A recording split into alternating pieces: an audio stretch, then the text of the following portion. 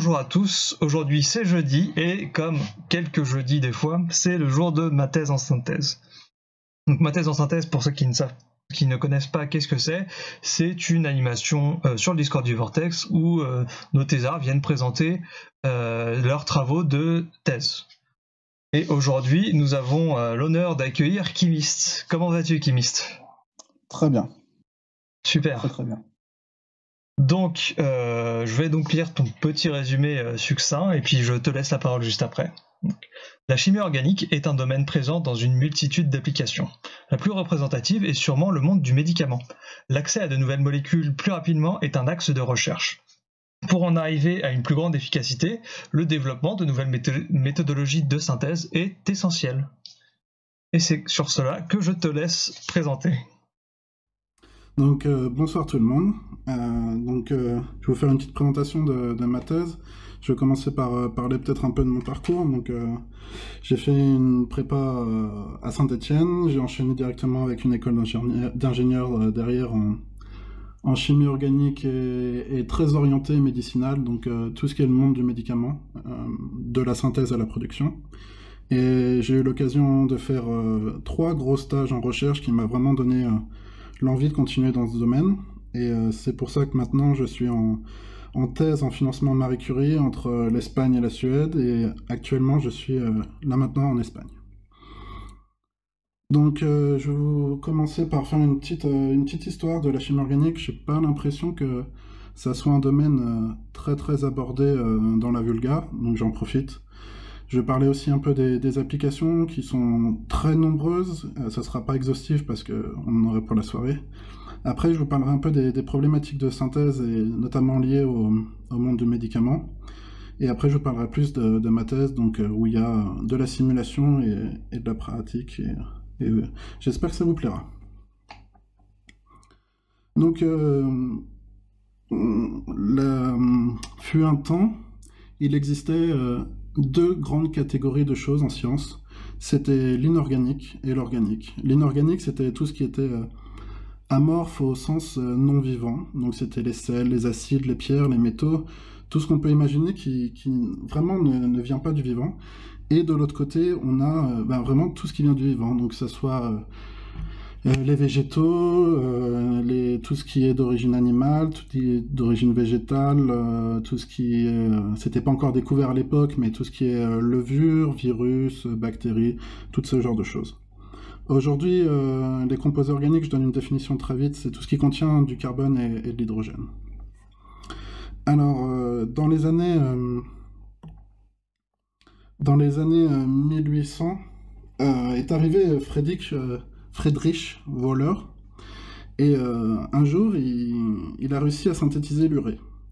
Ça a été pas du tout une révolution. C'est-à-dire qu'il a publié ses travaux euh, et, en fait il a réussi à partir de, composés inorganiques à synthétiser des composés organiques.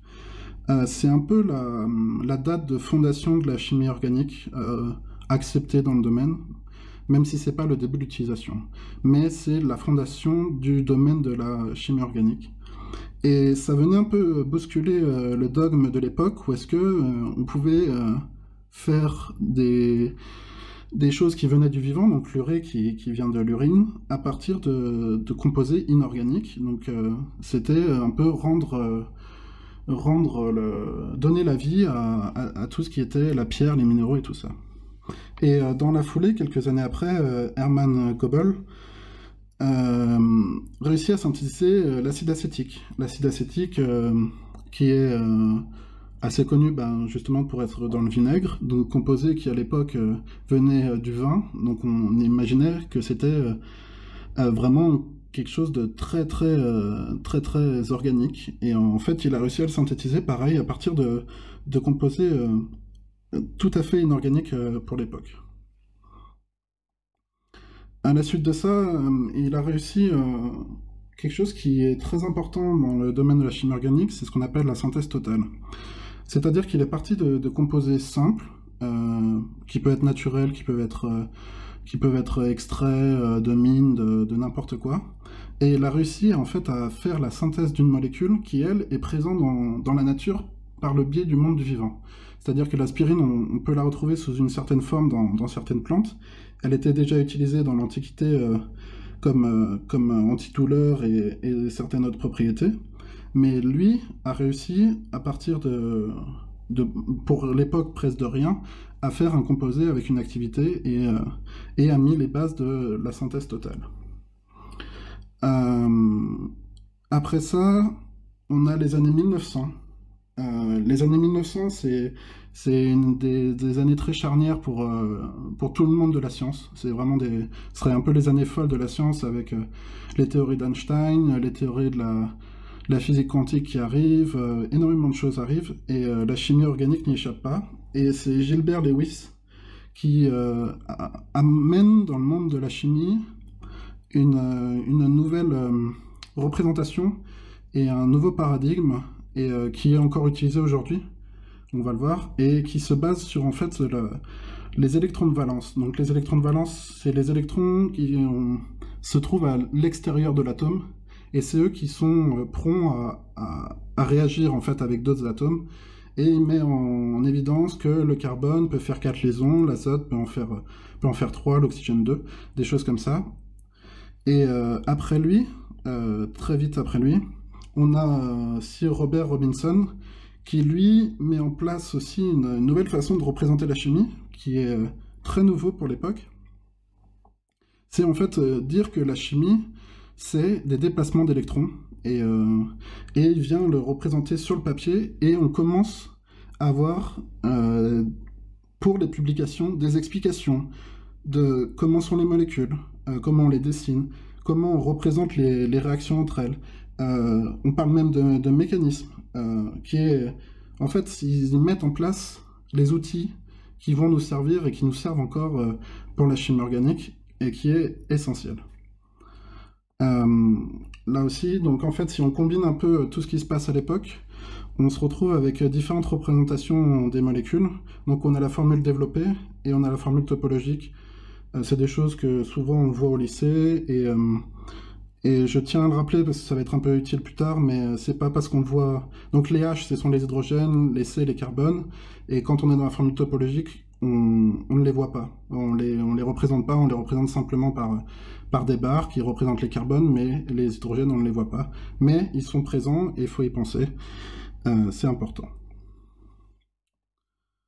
Après ça, on a les années 1920, euh, avec le développement de la, chimie quantique. Euh, alors, en fait, c'était pas vraiment des chimistes, c'était beaucoup plus des, physiciens. Donc, on a Schrödinger, Mulliken, Bohr, Oppenheimer, Pauling, Huckel, qui vont faire des énormes avancées en termes de vraiment de, théorie. Et on a Hartree et Fock qui vont faire des avancées sur, euh, le calcul, sur vraiment euh, prendre ces théories et, euh, faire de la physique appliquée et, et en quelque sorte ben, de la chimie appliquée avec du calcul. Donc il y a deux grosses théories qui, sortent à cette époque. C'est la théorie des liaisons de valence.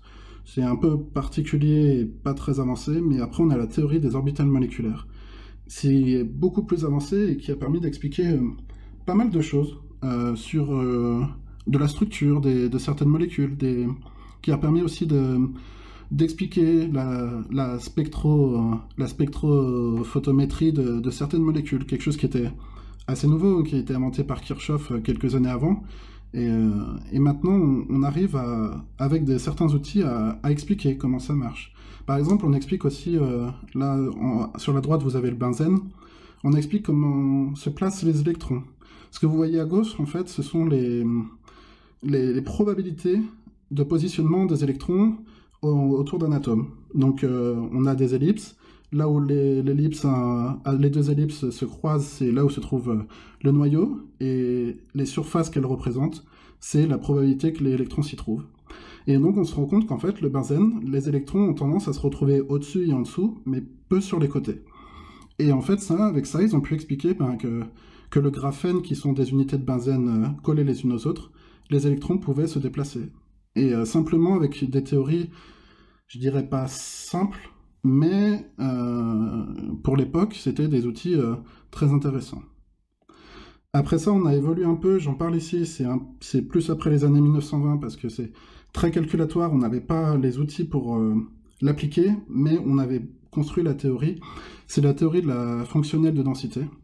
En gros, on a pris l'équation de Schrödinger et on a fait des approximations. Et de ces approximations, on s'est rendu compte qu'on pouvait calculer des choses très avancées avec euh, une puissance de calcul relative. À l'époque, les ordinateurs n'existaient pas, donc euh, c'était même pas la peine d'y penser. Mais aujourd'hui, euh, c'est très utilisé et les fondations datent de ces années-là. On remarquera aussi que Schrödinger, Mulliken, Bohr, Oppenheimer, Pauling, c'est que des physiciens qui, après les années 1920, sont partis sur la bombe atomique avec le projet Manhattan. Donc c'est très, c'était une époque euh, vraiment folle euh, en termes de, de découverte. Et là, après, on arrive au XXe siècle. Euh, le reste du XXe siècle, c'est l'explosion de la chimie organique. Parce que maintenant, on a les outils, on a une partie de la théorie qu'on peut appliquer plus ou moins, parce que, encore, il n'y avait pas les ordinateurs à cette époque, mais tout se développe en parallèle. D'abord, on a le développement de la synthèse totale. Donc la synthèse totale, c'est aller prendre des molécules de la nature, des molécules complexes qu'on peut identifier, comme la morphine, euh, l'aspirine, des choses comme ça, et essayer de refaire la synthèse, de refaire la molécule, mais au laboratoire, en partant de réactifs souvent issus du pétrole, et d'en refaire la synthèse copier, euh, copier la nature. Et ça permet énormément de choses. Ça permet d'abord de mettre en place des nouvelles méthodes, des nouvelles réactions, donc qui permettent de faire des molécules de plus en plus complexes, mais aussi de tester ces molécules issues de la nature et de voir si eh ben, elles ont un effet médicinal, si ce sont des poisons, si ce sont telle ou telle chose. Parce qu'on ne peut pas extraire de grandes quantités de la nature, ou sinon il faudrait cultiver des champs entiers, ça, serait très compliqué. Et en fait, on arrive, grâce à, la chimie organique, à faire ces tests-là, et de, nombreux médicaments euh, se sont développés comme ça au fur et à mesure des années. On a des nouvelles applications dans la vie courante. Ça va être euh, énormément les matériaux, euh, ça va être la parfumerie, ça va être des choses que je vais présenter après. On a les développements des méthodes d'analyse qui sont essentielles aujourd'hui à, la recherche. On a les domaines scientifiques périphériques, dans le sens où est-ce que ben on a les mathématiques qui sont développées, qui ont fait de, qui ont permis des grosses grosses avancées. On a la physique aussi, qui a permis de, de mieux expliquer ce qui se passait. On a la médecine, la biologie qui euh, expliquait mieux les interactions entre, entre les molécules et les humains.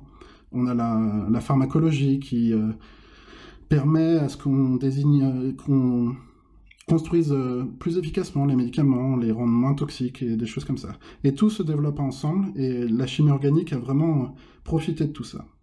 Il y a eu aussi autre chose, c'est que, ben, avec, comme tout devenait plus simple, euh, les réactifs de base qu'on pouvait utiliser, qui à l'époque étaient très compliqués, euh, très compliqués à avoir des molécules complexes et pas chères. Aujourd'hui, on peut avoir on peut aller euh, à la supérette du coin du scientifique et acheter des molécules très avancées et pouvoir faire de la recherche dessus. Et aussi, et ben, les ordinateurs.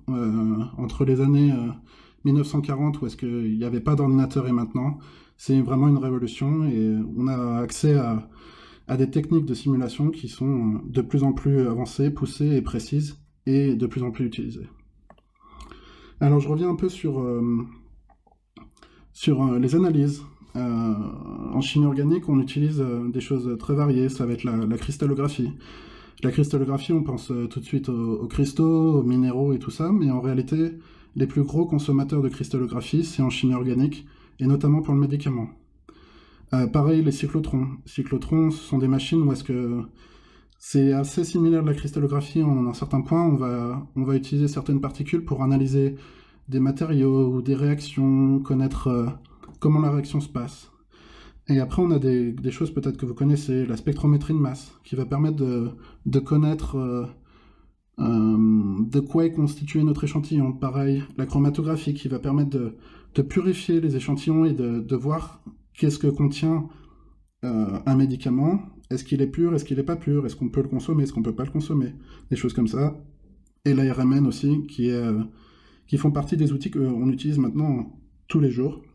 Et, euh, et c'est assez fou parce que, par exemple, là, les, on voit presque une dizaine de RMN à la Sorbonne. Il faut savoir qu'une RMN, ça coûte un million d'euros pièce. Mais aujourd'hui, c'est euh, utilisé couramment et il y a 40 ans, c'était pas le cas. Il y a 40 ans, si on était de la province, il fallait monter à Paris pour faire sa RMN. Et aujourd'hui, presque tous les labos en ont. Tous les labos ont, les trois outils que vous voyez en bas la spectrométrie de masse, la chromatographie. Tout le monde y a accès euh, presque dans son bâtiment.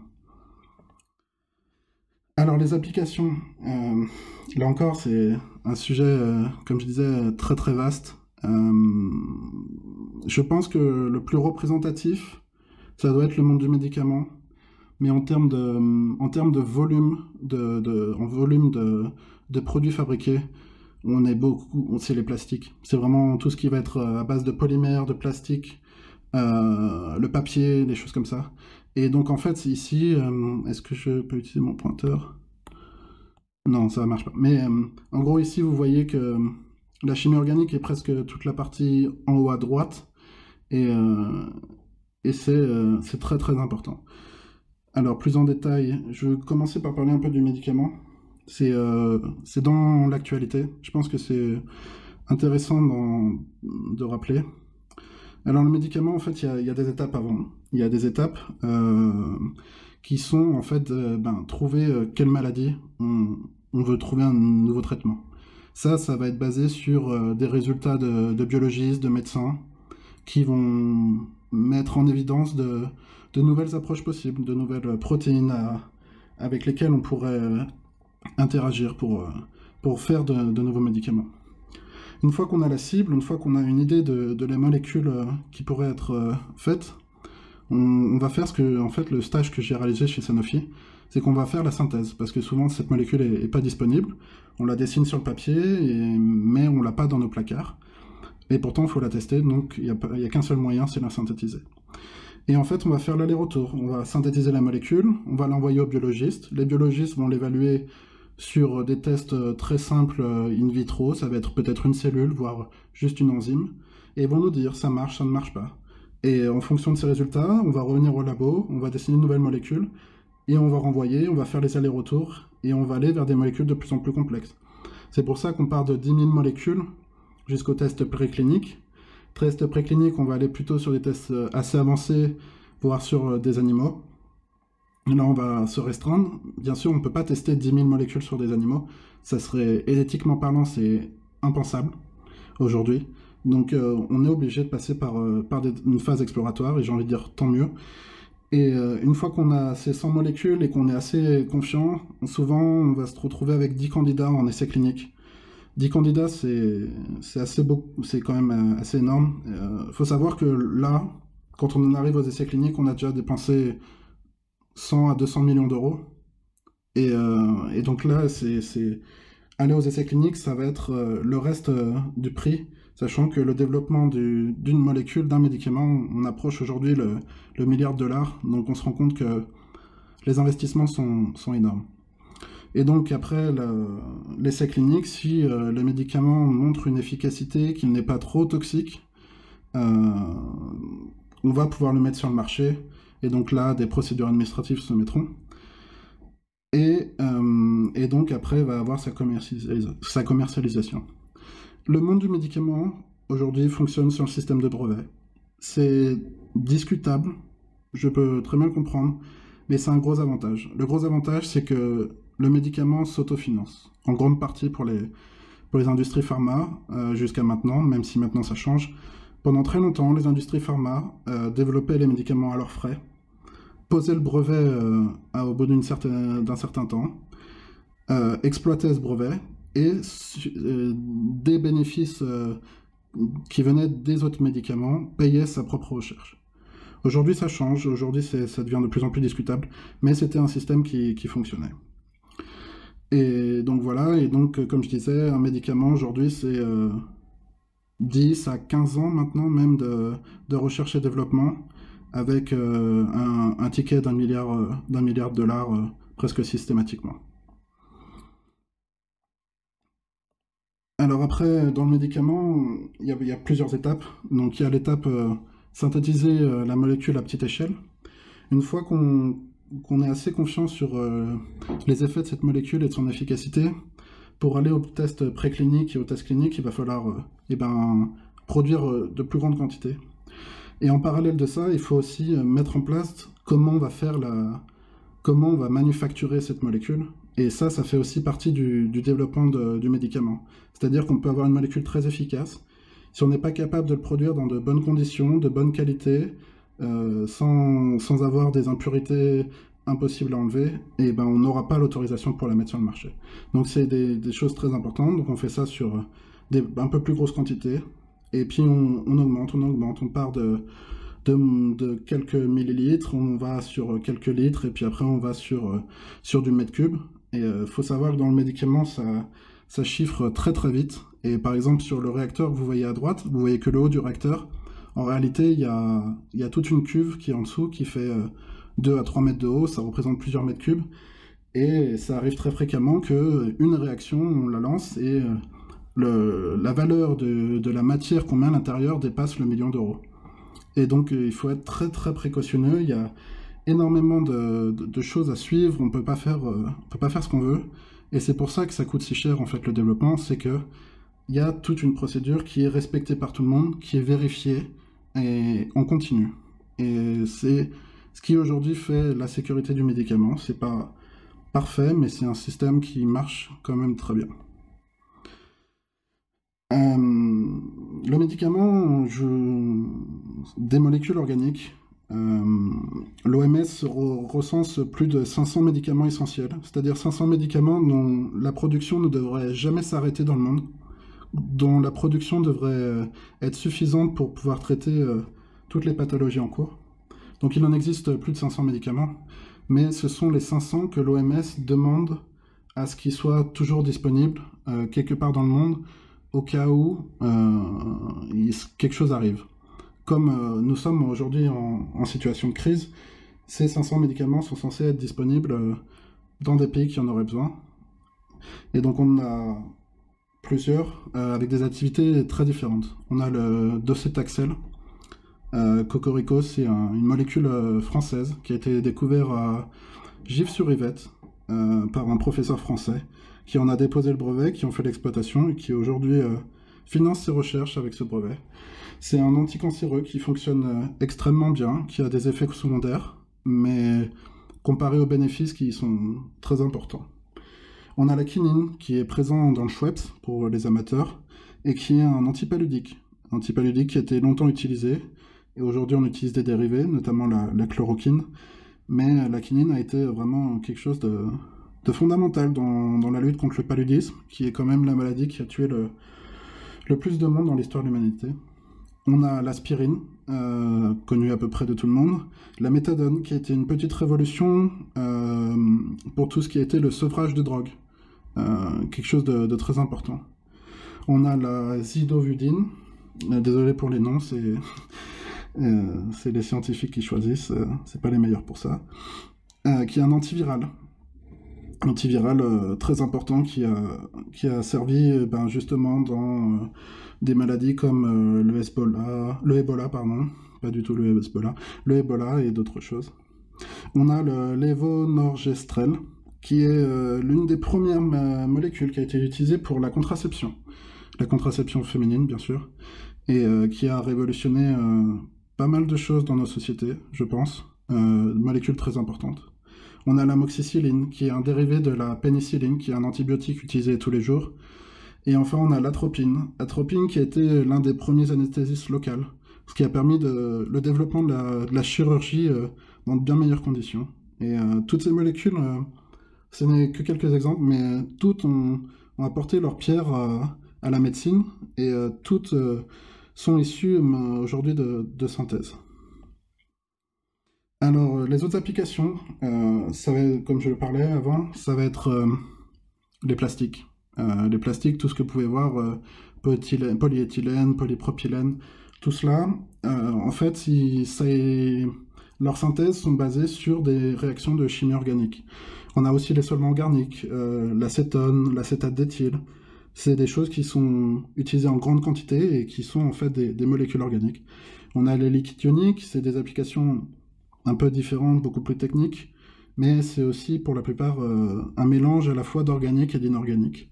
On a le papier, euh, on n'y pense pas, mais la cellulose, c'est Le papier fait de cellulose est un polymère et qui est utilisé pour énormément d'applications, et pas seulement pour, écrire, mais donc voilà. On a aussi le tissu, le tissu qui est aussi un polymère, et on a aussi les matériaux composites qui, partie d'entre eux, sont des polymères aussi. On a un domaine euh, qui se développe aussi assez rapidement, c'est la parfumerie et la cosmétique. Et je rajouterai aussi euh, tout ce qui est saveur euh, dans ces molécules-là. Donc c'est souvent des assez petites molécules. plus les molécules sont petites, plus elles sont volatiles, souvent. Et donc c'est des molécules qui viennent très souvent du vivant, mais la question se pose. La question se pose, c'est est-ce que utiliser des, terres, euh, des terres où est-ce qu'on pourrait faire euh, pousser de la nourriture, doit-on les utiliser pour euh, faire pousser des fleurs et extraire leur saveur pour profiter à seulement une partie? Et la réponse c'est il vaut mieux utiliser la synthèse, ce qui permet de, libérer de l'espace. Alors on consomme à l'heure actuelle des ressources pétrolières, mais on ne consomme pas des, terres agricoles pour ces, pour ces plantes-là, qui sont souvent des plots assez délicate, assez compliquée, qui demanderait beaucoup d'entretien ou qui serait cultivée dans des pays qui justement n'ont pas accès à une agriculture développée et qui sont parfois en proie à la famine. Et après, certaines autres applications qui, sortent un peu de, ce qu'on peut imaginer. On a les écrans OLED. Aujourd'hui, c'est des complexes organiques qui sont à l'intérieur. Donc des complexes, c'est à la fois c'est avoir un atome métallique et avec autour euh, un certain nombre de, ligands, de choses qui, tournent autour et qui forment un, complexe. On a les conservateurs, qui sont pour certains organiques. On a la purification. Par exemple, dans nos stations d'épuration, euh, on utilise énormément de, matériaux polymères euh, pour eh ben, les flocculants, qui vont permettre de, faire descendre les bouts et, de séparer de l'eau claire. Donc on a besoin de, la chimie organique pour ça. On va avoir les peintures, les vernis, les cols aussi, très utilisés. Et euh, on a aussi euh, les explosifs. Euh, un grand nombre d'explosifs sont tout ou partie des molécules organiques. Alors maintenant, je, vais vous parler un peu de, des problématiques qu'on a en, chimie organique, sachant que la chimie organique, comme je vous l'expliquais, c'est de la chimie de synthèse. Le but, c'est de synthétiser des molécules. Et donc, euh, pourquoi développer, euh, développer la synthèse et pourquoi développer de la méthodologie? Eh ben, ça permet plusieurs choses. La première chose, c'est d'avoir accès à des nouvelles structures. Euh, c'est-à-dire qu'on est capable de faire certaines formes géométriques, on va dire, de les synthétiser. Aujourd'hui, on sait faire. On sait les copier de la nature, mais si on veut avoir accès à de nouveaux médicaments potentiels, il faut aller vers de la nouveauté. De la nouveauté, ça veut dire des, de, nouvelles, euh, de nouvelles structures. On a aussi une volonté d'améliorer les rendements. Le rendement en chimie organique, c'est euh, combien vous mettez dans votre réacteur et combien vous récupérez à la fin? Et euh, ce que ne vous récupérez pas, c'est perdu. C'est des choses qu'il va falloir enlever. Donc ça veut dire purifier votre molécule et euh, c'est de la perte euh, sèche économiquement, mais aussi écologiquement, puisque c'est des déchets qu'il va falloir traiter. Et euh, comme vous pouvez le voir à droite, si vous faites une synthèse à 10 étapes à 90% de rendement, donc ce qui est des très bons rendements, vous mettez 1 kg, il va vous, si vous voulez 1 kg de produit, il va en falloir 3 kg au départ. Mais si votre rendement il descend à 80%, et eh ben, il va vous en falloir 3 fois plus. Donc vous, vous partez de 9 kg de produit et vous formez un seul kilo à la fin. Ce qui veut dire que les 8 autres kilos sont des déchets qu'il va falloir, euh, va falloir traiter.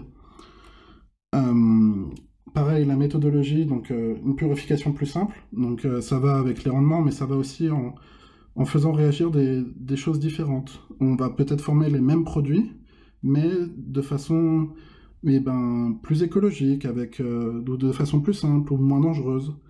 Et donc c'est très important. Euh, ça permet aussi, là aussi, la purification va générer aussi des déchets en soi, et donc euh, moins de purification, ça veut dire aussi moins de déchets.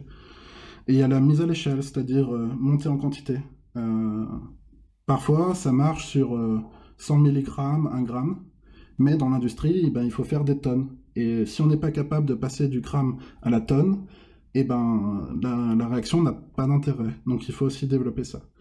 Et euh, tout ça va dans le sens aujourd'hui d'un monde plus écologique. Donc moins de matières premières utilisées, euh, moins d'énergie, moins de produits toxiques, moins de déchets. Et euh, tout ça va ensemble. Alors, un, petit peu de... Comment dire un petit peu de, nomenclature. souvent, on, voit, mais je suis pour faire un rappel, euh, en chimie, on représente les réactions comme suit. Donc on a euh, les réactifs à gauche, donc ce qui va réagir dans la réaction, et à droite les produits. Donc ça peut être euh, le produit souhaité, plus les déchets, plus ce qui ne nous intéresse pas. Des fois on en forme, des fois on n'en forme pas, ça dépend des réactions. Et on a aussi les conditions. Les conditions, c'est sur quoi on peut jouer pour la réaction se passe et aussi parfois l'optimiser. Donc on a la température plus, en général, plus on augmente la température, plus la réaction est rapide. Ce qui peut être bien et pas bien. Dans le cas de, certaines synthèses, si on chauffe trop, et eh ben, la réaction s'emballe, une réaction s'emballe, ça peut être euh, quelque chose qui finit en explosion. On a la pression aussi qu'on peut régler, soit être en dépression, donc plus bas que la pression atmosphérique, soit être plus haut. Ça, ça peut jouer, ça peut former différents produits, ça peut former euh, des produits euh, souhaité et moins de déchets. Et on a aussi le temps de réaction. Plus le temps de réaction est rapide, moins on utilise le réacteur et plus on peut produire de choses.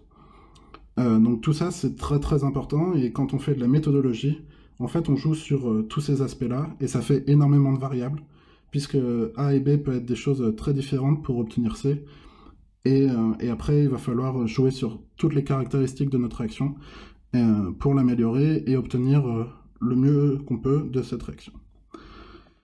Alors tout à l'heure, je vous parlais de, synthèse totale, et maintenant que je vous ai introduit euh, comment on représente les réactions, euh, vous pouvez sûrement pas lire, et, et c'est pas le but. Euh, là, c'est ce que vous avez en bas à droite, c'est la morphine. Donc la morphine, c'est une molécule encore très utilisée de, nos jours comme antidouleur, comme analgésique, donc qui tue la douleur. Et si on voulait en faire la synthèse aujourd'hui, euh, voilà la synthèse qui est euh, rapportée dans la littérature la plus rapide avec le meilleur rendement. On est à 1,3% de rendement. Si on voulait faire ça dans l'industrie, euh, pour un kilo de morphine, on générerait plusieurs tonnes de, déchets. Ce qui est, inacceptable. Et de toute façon, 22 étapes, c'est beaucoup trop long. Donc aujourd'hui, la morphine, on ne la synthétise pas. Aujourd'hui, la, morphine, on la cultive en France. Il y a plusieurs, euh, plusieurs lieux stratégiques où est-ce qu'on sait que les, les conditions de, les conditions de, agricoles sont pas les mêmes, ce qui évite, euh, ce qui peut éviter euh, des problèmes de, de récolte. Et, et, donc on demande à des agriculteurs de faire pousser du pavot, et après ces pavots sont récoltés, sont envoyés dans le sud de la France, et, et Sanofi se charge eh ben, d'extraire cette molécule. Aujourd'hui, on est, capable d'en faire la copie, mais on n'est pas capable de l'industrialiser.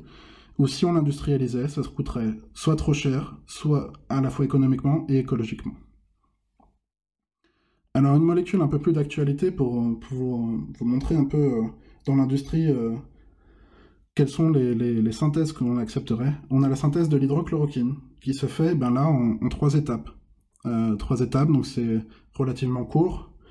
c'est une petite synthèse et on a on atteint un rendement global de 80%, euh, ce qui est excellent. Euh, c'est des réactions très optimisées qu'on est capable de, faire sur des grosses quantités. On, va faire une synthèse d'une tonne à la fois et on en aura pour 3, 4, 6 mois de consommation. Euh, donc ça, c'est vraiment une méthode synthétique industrielle qui va être rapide, simple, très peu de déchets, avec des choses qu'on peut réutiliser, comme des, catalyseurs. Et, euh, donc, euh, euh, on voit vraiment la différence. Donc oui, donc la simulation et la, chimie quantique. Donc ce que je vous montre, c'est Marinostrom 4, un ordinateur, un supercalculateur. Certains appellent ça un serveur, mais ce n'est pas la dénomination la meilleure. C'est ce qu'on appellerait plutôt un cluster. Donc c'est une unité de calcul, c'est-à-dire qu'on sont des processeurs à l'intérieur qui font des, calculs euh, euh, puissants, rapides, euh, sur, des, sur des choses complexes. Donc ça peut être la météorologie, ça peut être des simulations de plasma, ça peut être tout un tas de choses. Et notamment, moi, j'utilise ça pour faire de, la simulation chimie, et énormément de gens le font. Peut-être que vous avez entendu récemment des, des, propositions pour utiliser votre ordinateur pour pour le Covid-19, pour trouver des, nouvelles molécules. On va en parler après, mais c'est ce genre de choses en fait qu'on réalise. Et Marine Nostrum a été construit euh, dans une, euh, dans une, une, chapelle euh, à Barcelone, et c'est sûrement l'un des plus beaux clusters que, que j'ai pu voir. En simulation, il y a quelque chose de très important dans le monde du médicament, c'est le docking. Donc on va tester des molécules donc dans l'ordinateur, on va simuler et, euh, et, et désolé, je lisais pour voir si on m'entendait bien. Et, euh, et, donc on va, modéliser pour euh, voir si certaines molécules avec certaines protéines, donc protéines qui sont reliées en fait à des pathologies, si elles, ont, vont avoir un, effet avec ces protéines, et si elles vont avoir un effet, est-ce qu'on pourrait pas justement s'en servir comme médicament? Donc ça peut servir soit à tester des molécules euh, qu'on connaît, soit à trouver des nouvelles molécules, soit optimiser certains médicaments euh, qui existent déjà sur le marché. Alors euh, souvent comment ça se passe? Ce qui se passe c'est qu'on prend des bases de données qui existent, qui ont été construites, donc avec des milliers voire des millions de molécules, ça dépend. Ça dépend des capacités de calcul que l'on a et, aussi ben, de, des connaissances qu'on a sur la, pathologie et les molécules potentielles. Si on sait que certaines structures euh, euh, fonctionnent déjà sur cette pathologie, on va peut-être privilégier euh, des banques de données avec des molécules similaires. Mais si on n'en a aucune idée, eh ben on va, on va taper large, comme on dit, on va, on va essayer le maximum et, et voir les résultats. Donc là, par exemple, pour cette étude, ils avaient utilisé à peu près 100 000 molécules, ce qui n'est pas très très gros mais ils ont sorti des premiers résultats, et puis après des meilleurs, ils ont, ils ont pris 15 molécules et ils ont essayé d'autres choses. Euh, ils ont essayé de voir aussi peut-être la, toxicité sur euh, d'autres protéines.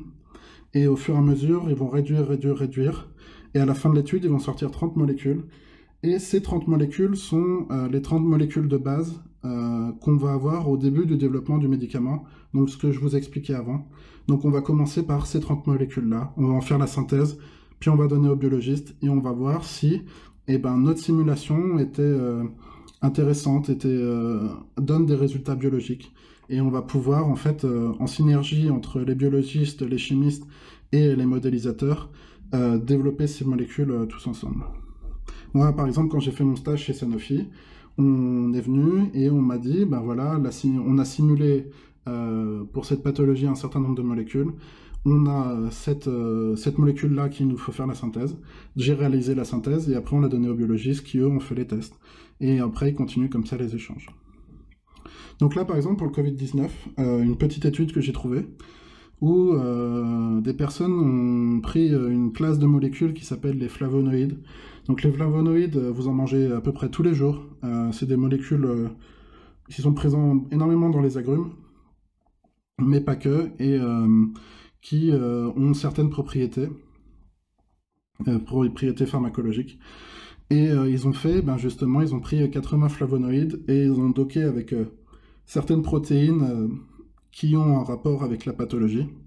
Et ils ont sorti certains, ils ont sorti certains, possiblement certaines molécules qui peuvent avoir un intérêt.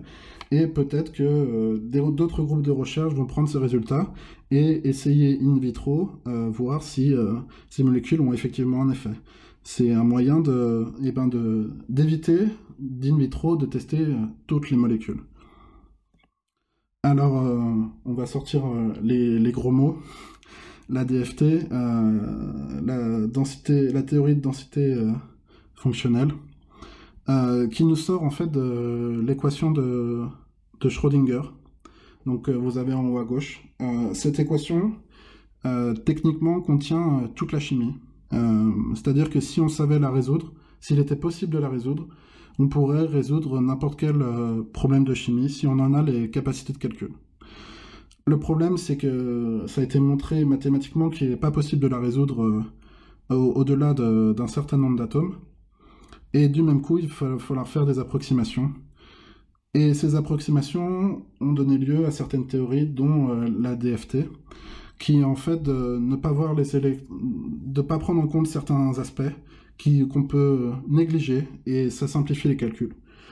Alors, en quoi c'est intéressant? Ça va être intéressant euh, pour en fait dans la méthodologie euh, trouver par exemple le, mécanisme, le mécanisme des réactions. C'est-à-dire que on mélange différents produits on, obtient, on mélange différents réactifs, on obtient certains produits, mais euh, on ne sait pas trop ce qui se passe entre les deux. On, peut imaginer plein de choses, on peut dessiner plein de choses, mais euh, au final, euh, expérimentalement, c'est très très compliqué bah, d'aller voir qu'est-ce que font les atomes entre eux, qui se met d'accord pour, pour faire des nouvelles liaisons et qui n'est pas d'accord et pourquoi ça se passe comme ça. Et, des fois, c'est compliqué d'expliquer. Et donc, du même coup, on peut utiliser la DFT euh, pour faire ça, pour simuler, en fait, euh, essayer de voir.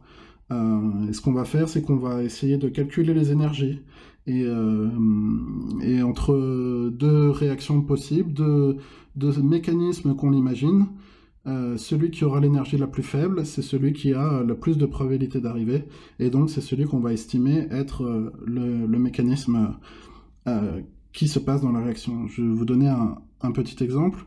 Donc ça, c'est un, des calculs que, j'ai réalisé. Et en fait, on a, une réaction euh, qui est, euh, on voit en haut, à gauche, qui est qu'on part de cette molécule et on obtient une molécule euh, linéaire, donc les deux sont linéaires, de produit de départ et de produit d'arrivée, dans certaines conditions. Et si on part d'une autre molécule assez similaire, mais on, on ajoute juste un petit groupement, et eh ben on n'obtient plus une molécule linéaire, mais on obtient une molécule cyclique, qui n'est pas la même, mais dans les mêmes conditions.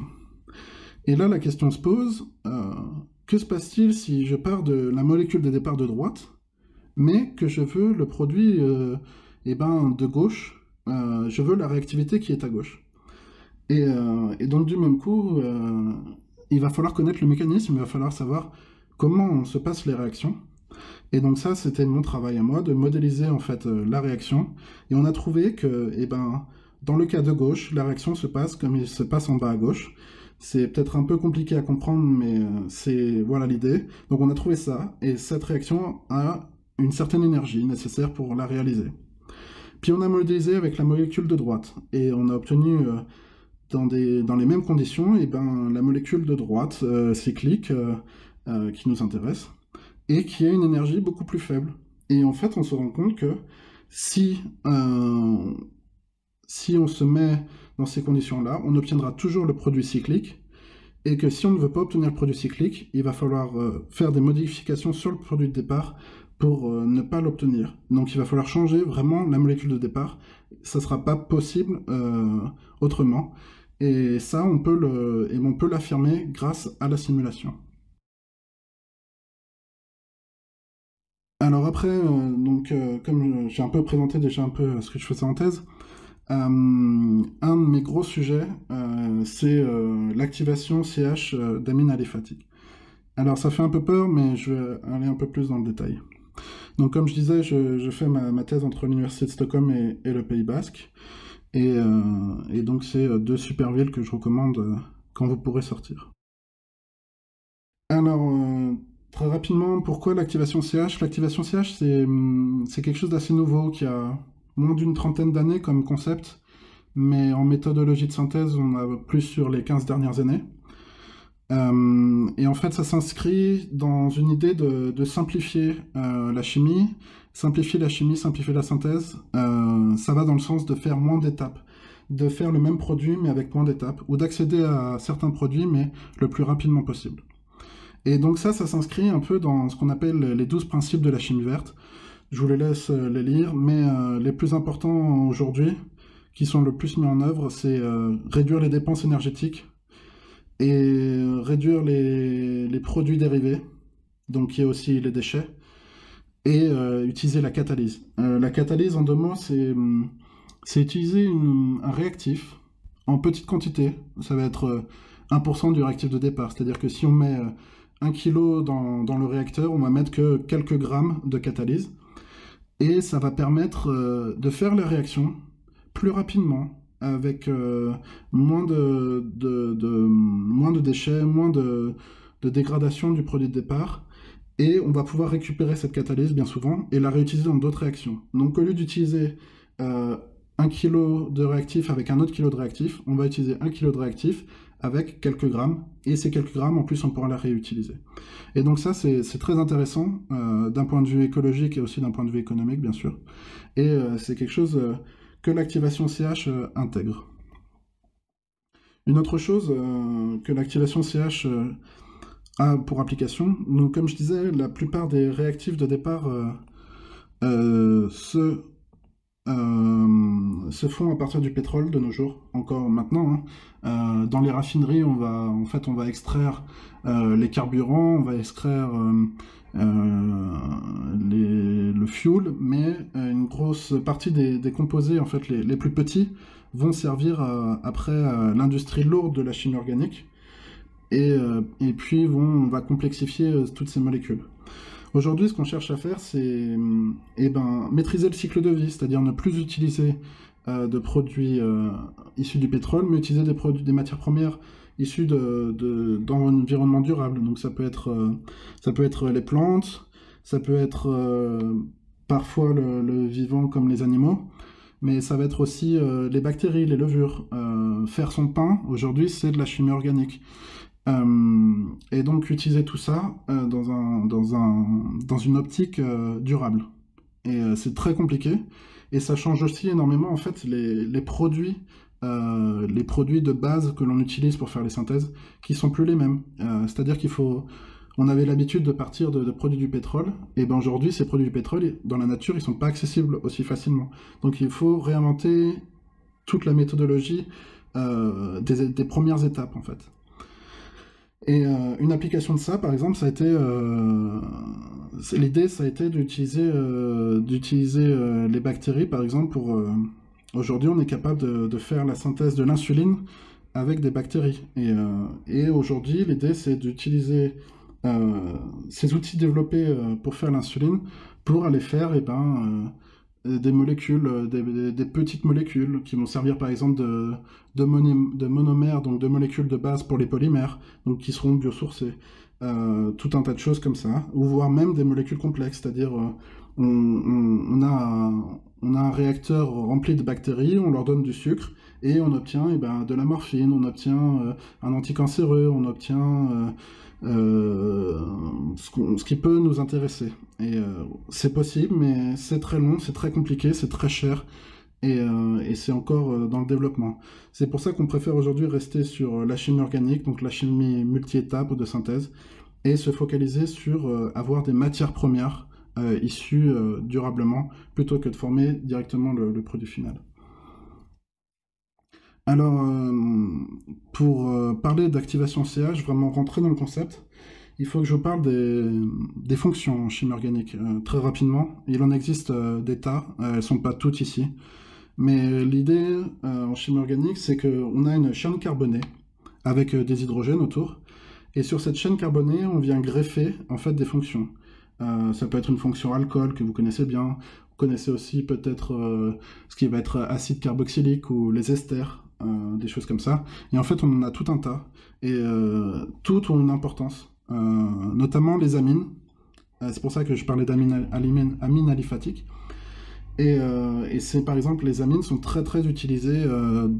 elles sont présentes dans la plupart des molécules qui vont servir comme médicaments. Donc, avoir des amines, pouvoir faire réagir des amines avec une nouvelle méthodologie, c'est très intéressant. Alors maintenant qu'on sait qu'on a des fonctions, donc euh, ces fonctions ont des propriétés chimiques et physiques euh, très différentes, on va pouvoir jouer avec. On va vouloir soit les modifier, soit en ajouter, soit en enlever, pour arriver en fait à, la molécule cible qu'on a dessinée. C'est tout, le jeu de la, c'est tout le jeu de la méthodologie. La méthodologie, c'est d'avoir certaines fonctions, les modifier pour arriver à, ce qu'on veut à la fin. Et l'activation CH, en fait, c'est euh, activer une liaison carbone-hydrogène. Donc carbone-hydrogène, qui a priori n'est pas une fonction en chimie organique, donc n'est pas quelque chose qu'on va dire de réactif. Et c'est l'idée, c'est vraiment de le rendre réactif. Donc par exemple, là je vous ai mis une molécule de, méthane, 413 euh, kJ par mol, c'est très très énergétique, et c'est l'énergie nécessaire en fait, à, enlever le proton, donc enlever notre hydrogène de notre carbone. Donc, c'est-à-dire que si on veut faire en l'état euh, l'activation du méthane, donc l'activation CH, casser cette bombe-là, il va falloir apporter énormément d'énergie. Et le plus souvent, cette énergie, euh, dans le méthane, ce qui passe, c'est qu'on la brûle et on forme euh, du CO2 et de l'eau. Et, et, ça, c'est pas ce qu'on veut. Nous, on veut garder, on veut garder la molécule de méthane presque intacte, mais pouvoir greffer d'autres choses. Et ça, c'est très compliqué. Donc aujourd'hui, l'activation CH, ce que l'on fait, c'est qu'on utilise en fait euh, ce qu'on a appelé des groupes directeurs et des métaux, le plus souvent. Et donc l'idée, c'est qu'en fait, on a un groupe directeur, euh, donc c'est en haut à droite euh, du schéma. On a un groupe directeur qui va pouvoir accueillir un, groupe qui va aider en fait à, tenir le métal proche de la molécule. Et en fait, ce métal, il va s'approcher euh, de notre carbone, où est-ce qu'on veut faire cette activation. Et en s'approchant, il va rendre le carbone euh, positif, vraiment euh, comme un aimant. Et le proton, lui aussi, est positif. Et ce qui se passe, c'est que pôle plus, pôle plus, le proton va avoir tendance à partir, et c'est le métal qui va prendre sa place. Donc ça, c'est la partie qu'on a en fait en bas avec les ciseaux. On vient approcher le métal, et ce qui fait partir le proton. Et une fois qu'on est en place comme ça, en fait, cette molécule devient réactive. La molécule de départ ne l'est pas, maintenant elle est réactive. Et on va pouvoir mettre un nouveau groupe fonctionnel qui est plus intéressant qu'un proton, qu'un hydrogène. Et une fois qu'on a fait ça, en fait, on pourra refaire partir notre proton, euh, refaire partir notre métal, faire partir notre groupe qui tient le métal, et libérer la molécule. Et notre métal ici est notre catalyseur, et on pourra le réutiliser pour euh, la molécule suivante, et ainsi de suite, ainsi de suite pour euh, former ce qu'on veut. Et c'est ça toute l'idée de l'activation CH. Alors la difficulté, eh ben, c'est qu'il faut trouver le bon métal, il faut trouver le bon groupe directeur, le bon groupe pour tenir le métal, et jouer sur tous les paramètres, jouer sur la pression, la température. Et c'est ça la, difficulté. Et encore il y a quelques années, on pensait que, ben, que c'était pas possible, que les molécules, que les liaisons CH étaient juste non réactives, ou alors il fallait les brûler pour vraiment qu'il se passe quelque chose. Et maintenant, on arrive à prouver que eh ben, ce n'est pas le cas. Et notamment, l'un des métals les plus utilisés pour faire ça, euh, c'est le palladium. Euh, le palladium, euh, qui est beaucoup utilisé aujourd'hui, la principale utilisation, c'est pour les pots catalytiques. Le palladium pot catalytique, donc catalyseur. Le palladium sert de, catalyseur à la réaction pour détruire un certain nombre de polluants qui se forment dans le moteur et, essayer de les faire ressortir en quelque chose de moins toxique. Et donc voilà, donc ça c'est très utilisé et aujourd'hui on l'utilise de plus en plus en chimie organique. On l'utilise pour d'autres raisons que l'activation CH et normalement et notamment former des, liaisons carbone-carbone qui sont quelque chose de, très compliqué à former. Mais et justement l'utilisation du palladium a un peu révolutionné euh, la chimie organique pour ça. Et donc on va utiliser le palladium qui a cette propriété, vous voyez, d'être euh, positif en bas à gauche, pour chasser, les, protons de certaines molécules à des endroits spécifiques et pouvoir les remplacer par un autre groupe fonctionnel. Donc, euh, euh, les amines aliphatiques. J'ai parlé d'amines aliphatiques. c'est une classe de, composés, vous en avez plein devant vous, c'est que des amines aliphatiques. Ça veut dire que c'est des amines avec des chaînes carbonées, uniquement des chaînes carbonées, pas d'autres fonctions, et un, atome d'azote. Un atome d'azote qui peut avoir plusieurs chaînes sur lui, ou une seule, ou euh, jusqu'à trois chaînes. Et en fait, ces molécules-là, ces petites molécules-là, euh, sont abondantes. Euh, dans la nature, on peut les retrouver, mais aussi dans les produits pétroliers. C'est souvent des déchets de, synthèse. Et l'idée, c'est d'aller les valoriser en les rendant plus complexes, en les approchant un peu plus de molécules potentiellement actives. Et en parlant de molécules potentiellement actives, voilà certaines euh, ben, justement amines aliphatiques dont on pourrait utiliser les molécules qu'on a vues précédemment pour euh, faire des activations à certains endroits de la molécule et former très rapidement en fait euh, la, molécule, une molécule active en une ou deux étapes. Et, et donc c'est très intéressant parce que eh ben, euh, financièrement parlant et écologiquement parlant, on va former assez peu de, assez peu de, déchets et très rapidement on va former euh, des molécules d'intérêt. Donc ça c'est vraiment euh, une grosse partie de, je dirais c'est 80% aujourd'hui de, ma thèse et c'est vraiment de développer de, nouvelles méthodologies. J'aimerais bien pouvoir en dire un peu plus, malheureusement, tant que c'est pas publié, la règle c'est qu'on n'en parle pas. Mais, mais ça c'est vraiment très très très proche de, de, ce que je fais tous les jours au laboratoire, qui est un peu mélanger tous ces réactifs pour justement essayer de, former certaines de, des molécules que vous voyez là. Et euh, une autre partie de ma thèse, euh, c'est la simulation, donc ce que je vous ai un peu montré avant. Donc ça, c'est des résultats euh, déjà publiés. L'idée, c'est on collabore, on collabore avec différents groupes qui peuvent venir de vraiment n'importe où. Eux, ils ont déjà la méthode de synthèse, ils ont déjà la recette pour faire la réaction, mais ils veulent connaître ben, qu'est-ce qui se passe, qu'est-ce qui se passe dedans, connaître le mécanisme et pouvoir essayer de le confirmer avec la simulation et euh, essayer de, de voir si on peut pas eh ben, aller un peu plus loin dans, dans l'étude de cette réaction. Euh, ça a deux avantages. Euh, le premier avantage, c'est que ben, déjà on, a une idée de ce qui se passe à l'intérieur.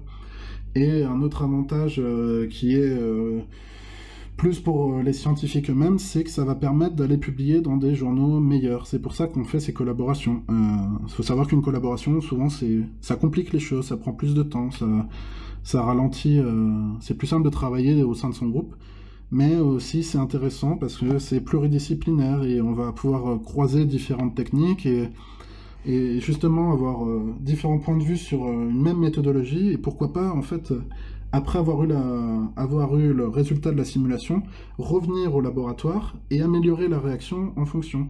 C'est des choses qui se font un peu de plus en plus, où est-ce qu'on dit, bah, là vous utilisez tel réactif, mais en réalité, de la simulation, ce qu'on observe, c'est que ben, si vous utilisiez ça, ça serait sûrement mieux.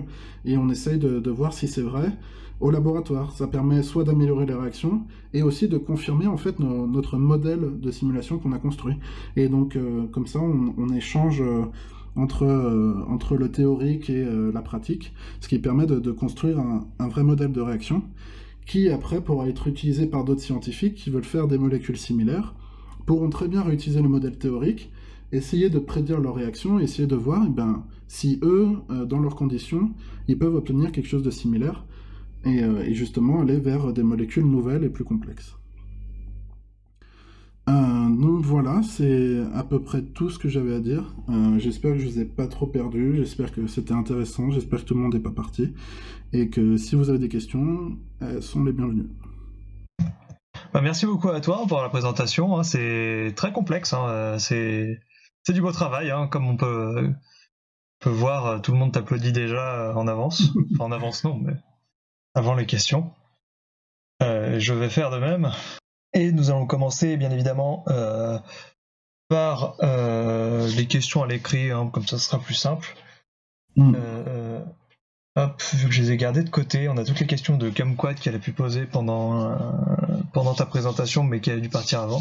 Donc sa première question, c'était comment ça se passe l'extrapolation cellule-organisme, sachant que la toxicité de certaines, certaines molécules est modulée par la combinaison de plusieurs tissus? Euh... tu peux répéter doucement Oui, bien sûr comment se passe l'extrapolation cellule-organisme, sachant que la toxicité de certaines molécules est modulée par la combinaison de plusieurs tissus? C'est une question qui a été ah, posée vers 21h30, donc c'était au début de ta présentation. J'imagine que c'est en rapport avec le, médicament, quand je disais qu'on fait des tests euh, in vitro et qu'on passe aux tests, euh, au test sur les animaux. Euh, je suis pas spécialiste là-dedans, enfin je, vois à peu près comment ça marche, mais un biologiste expliquera sûrement mieux. Mais l'idée, en fait, c'est qu'on a, on a une batterie de tests qui va être... Euh, les premiers tests vont être, en fait, savoir si la molécule a un effet sur, euh, sur la cible. Mais les tests qu'on va faire très très vite après, c'est savoir si la molécule est toxique. On a, en fait, on a des, des tests euh, standards, où est-ce qu'on va regarder si la molécule va, en fait... Bah, par exemple, si on prend une bactérie, on sait que si on met la molécule et que les bactéries se développent plus, on sait que la molécule est toxique. Et ça, bah, on sait que ça va être problématique très très vite parce qu'on va pouvoir faire euh, soit plus aucun test parce qu'on détruit notre test, soit parce que en fait le médicament, euh, on va aller juste tuer des animaux pour rien. Donc c'est même pas la peine d'aller plus loin. Donc en fait, c'est un dégradé de tests qui vont être de plus en plus complexes et on va tester, en fait, on va tester aussi la toxicité au passage. Mais je pense que Toyo en parlera peut-être mieux que moi, mais s'il si, si approuve, qu'il fasse signe. Ok, ensuite, toujours sur les questions, une question de Kumquat avant. Euh... Par contre, j'ai reçu un retour de moi-même là. Euh, c'est moi ou il y a un retour de mon micro ou c'est moi qui bug qui Quelqu'un qui, Ah, c'est ah, Fanta. ton micro, euh, tu fais de l'écho. Ouais. T'inquiète pas, euh, j'ai encore deux trois questions à l'écrit et puis après on passera sur les questions orales sans doute. Donc toujours, toujours par toujours par Kumquat. les génériques produits par la même société qui produisait la molécule initialement sous brevet sont-ils forcément avec une molécule identique pour le principe actif? Sinon, est-ce que les modifications est-ce que des modifications pour une meilleure absorbabilité sont autorisées sans repasser l'AMM au complet? Alors, les génériques, ça je m'y connais déjà un peu plus. Les génériques, le principe actif est strictement le même. Euh, bien souvent d'ailleurs, en fait, euh, on pose le brevet le brevet fait qu'on connaît la méthode de synthèse, donc les génériques souvent sont synthétisés en fait avec la même méthode. Donc euh, le principe actif doit être le même en fait. On n'a pas le choix. Mais il faut savoir que en fait quand on a une autorisation de 1000 sur le marché, c'est pas simplement le principe actif, c'est euh, le médicament en soi. C'est-à-dire que si par exemple c'est un, une, euh, une pilule, c'est la pilule qu'on met sur le marché. C'est-à-dire que si on fait une forme injectable, euh, en piqûre, ou si on fait une forme en suppositoire, ou si on fait une forme euh, euh, de gouttes dans le nez ou de gouttes dans les yeux, c'est une autre autorisation qu'il va nous falloir. parce que en fait l'enrobage qu'il y a autour est presque aussi important que le principe actif, bah, justement pour des questions qu'on va appeler de biodisponibilité, c'est-à-dire comment la molécule va se répartir dans ton corps. C'est-à-dire que si tu le prends par l'estomac, euh, et que tu vises une, que tu vises une pathologie qui est au cerveau, et ben, il va falloir passer par l'estomac, va falloir passer la, membrane dans l'estomac, va falloir passer dans le sang, après il va falloir passer dans, dans ce qu'on appelle la membrane euh, placentaire, euh, non, pas celle-ci, la membrane dans le cerveau et atteindre le cerveau. Mais si tu fais des gouttes dans le nez, tu peux atteindre le cerveau beaucoup plus rapidement. Donc un générique, ils doivent en quelque sorte refaire une demande de mise sur le marché, mais ils peuvent euh, changer très très très peu de choses en réalité. Ils vont changer ce qu'on appelle les excipients, donc qui est autour du principe actif. Et ces excipients-là, souvent ils les prennent euh, moins cher. Euh, moins cher, et ils doivent quand même prouver que l'effet est très très proche de ce qu'on appelle le principe. Donc le principe c'est la molécule d'origine. Et et euh, ils doivent être très très proches de ce résultat-là. Donc euh, on peut pas, on peut pas faire, euh, on peut pas faire ce qu'on veut avec un, générique. D'accord. Tant qu'on reste sur, les, sur la même question, il y a Apocalypse qui vient de poser la question sur. Bah attends, faut que je, faut quand même que je le lise pour nos amis de YouTube. les excipients, est-ce que c'est le, genre de, c'est genre le lactose décomprimé? Exactement. Donc il y a le lactose, il peut y en avoir pas mal. Il y a l'amidon, il y a la glycérine, et en fait, c'est toutes ces choses-là en fait vont, vont soit aider, soit ne pas aider le corps à absorber la molécule. Par exemple, l'idée, ça peut être euh, eh ben, de, de mettre euh, dans l'amidon, et ça va, on sait que l'amidon va très bien se décomposer dans, dans l'estomac, mais on sait aussi qu'il va se décomposer à une certaine vitesse. Donc on sait, euh, ben, par exemple, que si on prend le médicament, à quelle vitesse euh, les molécules du principe actif vont être disponibles ou vont rester bloquées dans l'estomac. Et en fait, c'est très complexe les excipients. Euh, c'est tout aussi complexe que le principe actif pour trouver justement eh ben, la, forme parfaite euh, pour, pour rendre le médicament actif et disponible dans le corps. D'accord. c'est ce qu'on appelle. Une question écrite. Juste, euh, juste pour compléter, s'il y a des gens qui s'intéressent, c'est ce qu'on appelle la, galénique. La galénique, c'est euh, on a un principe actif et maintenant on veut en faire euh, eh ben, un médicament. On veut en faire une gélule, on veut en faire ces choses-là. D'accord. Alors du coup, on avait une question justement d'Apocalypse un peu plus tôt dans la présentation qui posait la question de est-ce que les virus peuvent devenir résistants aux antiviraux comme les bactéries et les parasites deviennent résistants aux traitements qui leur sont réservés? Euh, je suis pas spécialiste, je, je, je, peux pas répondre à la question. J'en sais absolument rien. D'accord. Eh bien, dommage. Il a pas de souci, il faudra poser ça à Nana Amazing qui avait fait sa présentation sur, les, euh, sur le MERS par exemple. Euh, donc, euh, dernière question de Kumquat à l'écrit avant qu'on passe à l'oral. Et on a la question qui est comment vous gérez le docking de molécules quand on sait que certaines protéines ont une forme ternaire instable qui modifie un peu leur conformation 3D Donc euh, la question, quand on fait la simulation, euh, la molécule n'est pas fixe, enfin la, protéine n'est pas figée dans l'espace. La, la protéine euh, a cette capacité en fait de, eh ben, justement de, de s'adapter. On dit souvent que les protéines et les molécules c'est un système clé-serrure. Alors c'est vrai, dans le sens où est-ce que la molécule va, va permettre d'activer la protéine ou non, mais en réalité, euh, la, molécule s'adapte un peu à... La protéine s'adapte un peu à la forme de la molécule.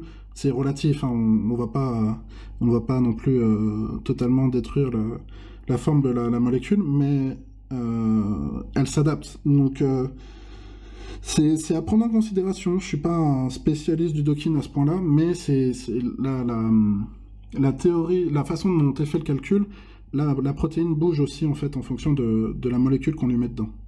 Super. Alors du coup, euh, comme je disais, là on va pouvoir passer aux questions euh, à l'oral en direct. Donc, comme je disais, hein, démutez-vous si vous avez une question et on fera tourner la parole. Ben ok. Euh, il y en avait une, c'était par rapport au tout début de ta présentation où tu parlais de la quinine qui était présente dans le mentos et qui était un antipaludique. Est-ce que le mentos a toujours des effets contre le paludisme? Euh, c'est pas dans le manteau, c'est dans le Schweppes. Euh, le, le Schweppes, c'est pour. euh, mais du même coup, en réalité, euh, la concentration dans le Schweppes euh, est relativement faible. Il faudrait boire euh, des grosses quantités de des grosses quantités de la boisson pour vraiment avoir un effet antipaludique.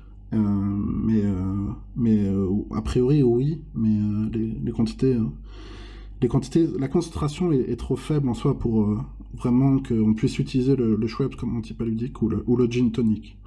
Ce qui n'est pas recommandé. Je ne recommande pas. Ok. Euh, donc tu avais parlé des, euh, des supercalculateurs. Oui. Donc je suppose qu'avec le Covid-19, tu as entendu parler de ces, ces projets à, à- à titre co- euh, collaboratif euh, et euh, bénévole pour participer contre la lutte co- contre le Covid-19. Mais ma question c'était, en dehors des temps de crise, est-ce que vous, euh, euh, est-ce que pour, euh, pour des, euh, simulations, vous vous tournez vers des solutions comme euh, des, euh, euh, euh, comme des crypto-monnaies dédiées à, la, à, des simulations pour euh, avo- avoir accès à une puissance de calcul euh, euh, plus, euh, plus importante que vous l'auriez avec euh, Boeing C ou euh, Folding at Home, par exemple. Donc en fait, euh, ta question c'est euh, est-ce qu'on, est-ce qu'il existe des projets collaboratifs en dehors des, des situations de crise euh, actuelles? Euh, oui, et qui pas nécessairement bénévoles. Euh, parce que je Non, sais que la puissance des mineurs, c'est juste un truc fou, fou furieux, en fait. Et euh, Euh, je me demandais si ça pouvait pas être utilisé de manière plus utile que ça. Alors, des projets collaboratifs, oui, il y en a. Euh, moi, j'ai pas d'intérêt en fait. Il, faut voir deux choses en fait. C'est que soit on fait ça parce qu'on n'a pas accès en fait à ces ordinateurs. Ces ordinateurs, c'est le fonctionnement est très simple. Euh, Si tu veux y avoir accès, soit il appartient à l'université, donc quand tu fais partie de l'université, tu as un droit d'accès. Et, ou sinon, il y a des gens qui, ont ces serveurs-là pour faire du calcul. Et en fait, il faut payer. Tu payes à l'heure d'utilisation. Et donc, euh, les gens, en fait, vont demander, euh, les gens qui n'ont pas le financement pour faire ces calculs vont demander à des projets collaboratifs. Euh, alors après, est-ce qu'il existe des projets collaboratifs, donc en quelque sorte rémunérés pour la personne qui fait du calcul? Je sais pas. Jamais entendu parler. Euh, souvent, c'est pas forcément l'idée, parce que si on a le budget pour payer des gens, en fait, c'est beaucoup plus... un serveur de calcul est beaucoup plus efficace euh, qu'un particulier, même s'il a ses limitations, mais euh, donc si- quitte à payer, autant payer directement en cluster, je pense. Ok, euh, merci beaucoup.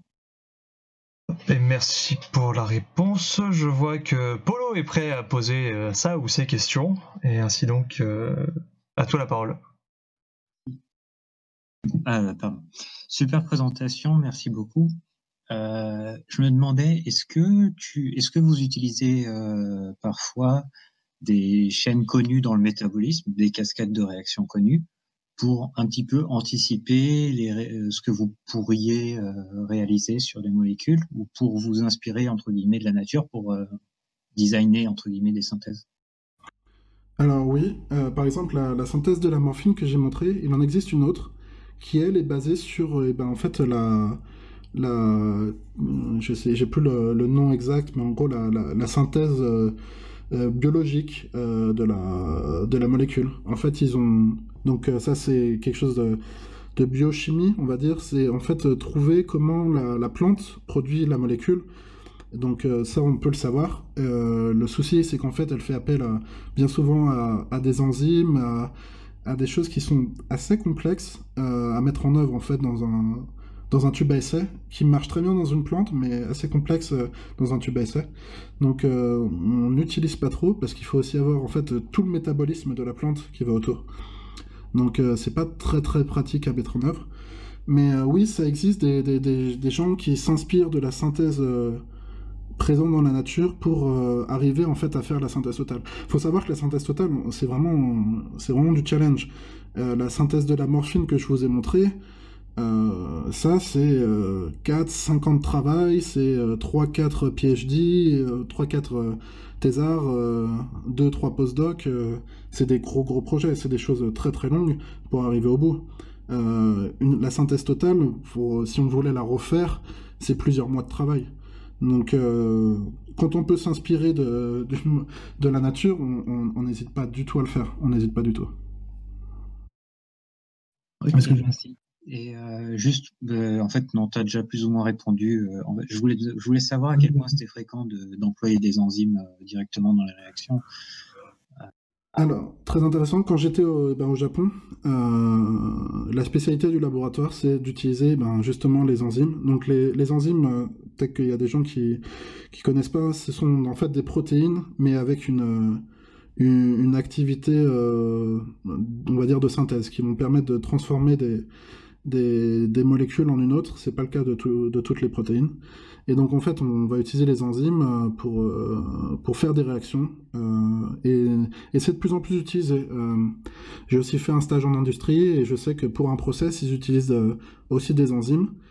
Mais c'est compliqué. Souvent, soit les enzymes sont très spécifiques en fait au, au réactif, donc c'est-à-dire qu'on peut pas on peut pas lui donner à réagir ce qu'on veut, ce qui est parfois embêtant parce que eh ben, on aimerait bien qu'elle marche sur euh, d'autres molécules. Ou alors euh, l'enzyme euh, est, pas spécifique du tout et en fait elle, a des rendements très, très mauvais et, c'est aussi embêtant parce qu'on aimerait bien avoir une enzyme qui marche avec tout et, et qui a des bons rendements.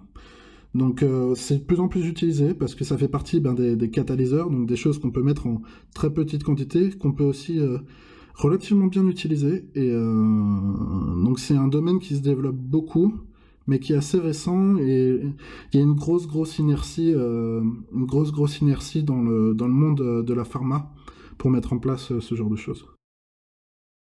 Ouais, je comprends, c'est pas facile. Ne serait-ce qu'isoler une enzyme, c'est déjà. Ouais, isoler une enzyme.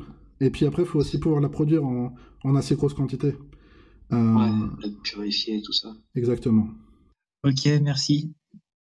Bah, merci à toi. Et ben, on va arriver sur la question de Termitor. Je t'en prie, vas-y. Oui, vous m'entendez? Oui, très bien. Voilà. Alors j'ai deux petites questions. Je vais commencer par la première.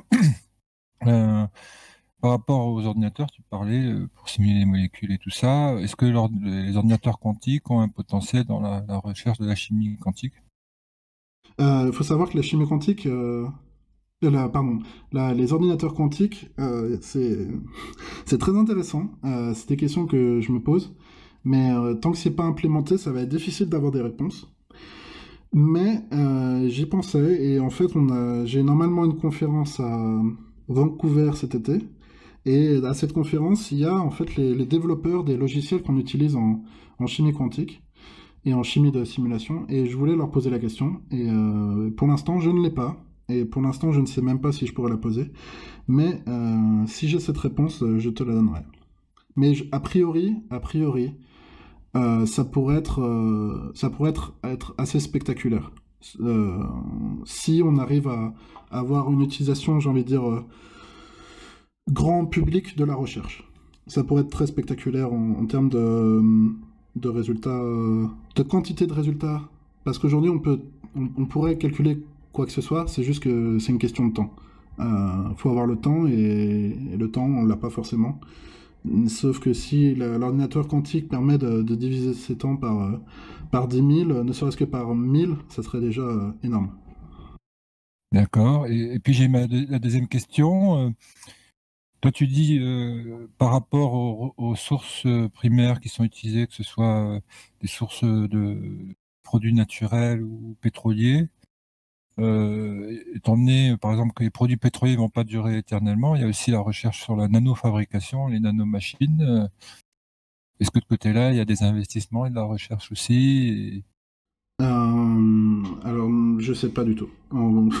je, suis désolé, c'est pas, enfin, pas mon domaine, mais mais je, je, je sais pas. Dans le sens nanomachine, de ce que j'ai compris des nanomachines, c'est plus pour faire des de répliquer des nanomachines plus que pour faire des, produits de départ, mais, euh, mais pourquoi pas Je ne sais pas. Merci. Merci à toi.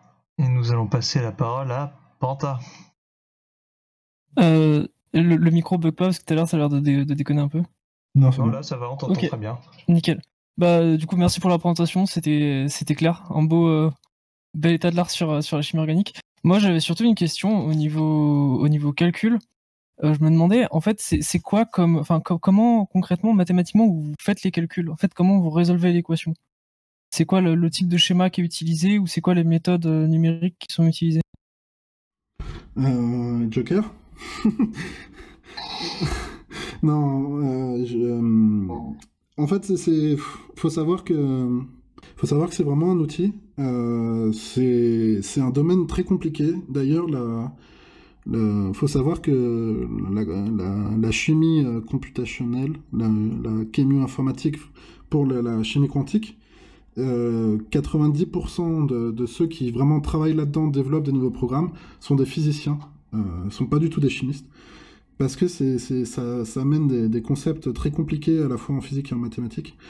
Et alors la méthodologie pour, pour faire les calculs, euh, euh, je t'avouerai que, que, je fais confiance au logiciel, comme on dit. Euh, je peux essayer de te trouver, j'ai deux trois bouquins que je peux te filer, où est-ce que justement on explique avec tous les calculs et tout ça. Mais je t'avoue que jusqu'à maintenant, j'ai pas eu besoin de, de, de là-dedans pour pour en fait m'en servir de cet outil. D'accord, bah merci. Si t'as des, si as des trucs, euh, ça m'intéresse. Euh. Merci pour ta réponse. je te partagerai ça, y a pas de souci. Merci à toi. Et là, je vois qu'on a une question de Métal d'Or. Euh, juste avant, ouais, ouais, ouais. je vois Grob qui dit les chimies sont trop mauvais en maths. Pour... faut savoir, en fait, il y a un truc dont j'ai pas parlé, c'est l'inflation de la recherche. Euh, dans le sens où est-ce que aujourd'hui, si tu veux te lancer dans la chimie organique et, euh, et en fait euh, pouvoir sortir des résultats un tant soit peu intéressants et, utiles, il y a une inflation à la fois en savoir à accumuler. C'est-à-dire qu'aujourd'hui, un spécialiste dans tout, ça n'existe plus. Et il faut avoir aussi, il y a une inflation en fait des, des, hum, économiques dans le sens où est-ce qu'il faut avoir un matériel euh, et, des, accès à des techniques euh, grandissantes. Euh, donc du même coup, pardon, j'ai le micro qui sature apparemment. du même coup, bah, aujourd'hui, oui, un chimiste peut pas être aussi un, physicien, un mathématicien, et, et je pense que c'est important de, de l'expliquer aux gens, et c'est un peu dans tous les domaines. on peut pas tout maîtriser, même en étant, même en étant chercheur. On peut avoir une idée des concepts, mais on peut pas tout maîtriser. Est-ce que je peux poser une dernière question? Euh, vas-y, je t'en prie. Euh, est-ce qu'on vous demande parfois des, euh, de synthétiser des, des molécules purement, purement biologiques, comme, comme de l'ADN ou, ou, la, ou la, la, célèbre CRISPR-Cas, la protéine CRISPR-Cas9, pour, pour, pour, pour aider d'autres d'autres départements ou quoi, ce genre de choses Alors, il faut savoir que des choses comme ça, il faut savoir que techniquement, les, protéines peuvent être vues en fait comme une espèce de, polymère de de polymères d'acides aminés. Et, euh, et, en fait, faire des, faire des synthèses de, de protéines de, de, quelques acides aminés aujourd'hui, ça, ça, se fait très bien à la paillasse. Euh, je connais pas la taille de, euh, de CRISPR, mais euh, je pense que ça fait euh, plusieurs milliers euh, d'acides aminés. Et techniquement parlant, c'est juste, c'est juste pas faisable. On préfère en fait le faire faire à des, à des organismes et euh, des, molécules, des, petites entités, euh, ça peut être des bactéries, je ne sais pas trop comment on isole euh, cette protéine-là, mais clairement des molécules aussi compliquées sur des grandes quantités, on n'utilisera pas la chimie organique pour ça. La chimie organique, c'est vraiment fait pour la taille de molécules que je vous ai montré, c'est-à-dire ça va aller à quelques centaines d'atomes de carbone. Au-delà, ça commence à faire des très très grosses molécules, et plus la molécule est grosse, ça veut dire plus d'étapes, plus d'étapes, ça veut dire moins de rendement, et ça veut dire euh, vraiment très complexe à gérer. Mais il existe, euh, pour ceux qui que ça intéresse, il existe ce qui s'appelle des, entreprises de synthèse à façon, où est-ce qu'on vient avec euh, eh ben, sa molécule, c'est-à-dire qu'on a par exemple... synthèse quoi? À façon. À façon, en deux mots. Et en fait, on vient avec, on vient avec sa, sa, molécule et on leur dit, ben, on aimerait un kilo de cette molécule-là et ils vont la synthétiser pour vous, mais ça restera des molécules euh, assez simples. Ok, merci. Alors, Termitor, tu avais signifié que tu avais encore une question, donc euh, si tu veux la poser, c'est maintenant. Oui, euh, il y a aussi, ce qu'il y a des systèmes de recherche basés sur des intelligences artificielles, automatisés, avec un labo entier. Est-ce qu'il y a un apport aussi euh, dans la recherche industrielle, euh, l'utilisation d'intelligence artificielle sur le test des molécules? Alors, euh, l'intelligence artificielle, alors en simulation, oui, parce que c'est assez simple à mettre en place, puisque tout est fait sur ordinateur, ce qui simplifie les choses. Mais j'ai eu aussi la présentation de certains scientifiques qui font ça au laboratoire. en fait, ils ont un mélange de, de, petits réacteurs qui sont couplés à des méthodes d'analyse et euh, qui sont couplés avec une, euh, une, espèce de, on pourrait appeler ça une banque de données de molécules. Et en fait, euh, l'ordinateur va prendre des molécules, va changer les concentrations, changer les températures, et en fait va faire les réactions, et en fonction des rendements, va adopter une stratégie, ben, soit de soit de comment dire il y, a, différentes façons de, faire l'intelligence artificielle et il y en a une qui est eh ben, par apprentissage en fait. Euh, il va voir en fait euh, il va essayer de développer euh, développer la, la, réaction pour l'optimiser en fait de lui-même mais le plus rapidement possible et sans intervention humaine mais c'est oui après c'est compliqué parce qu'il faut avoir la machine il faut avoir les réactifs faut pas trop lui en demander et euh, il faut pouvoir faire des réactions euh, rapides. Certaines, certaines réactions peuvent prendre plusieurs jours, et si ça prend plusieurs jours, ça veut dire euh, entre chaque étape, il faut plusieurs jours, et c'est impensable.